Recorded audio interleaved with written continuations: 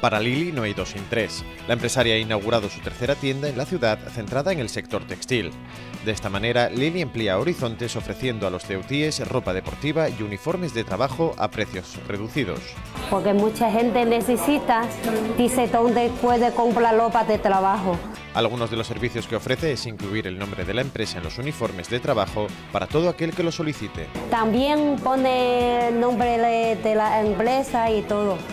La tienda está situada en Calle Real 89 y permanecerá abierta de lunes a sábado en horario de 10 a 9 de la tarde.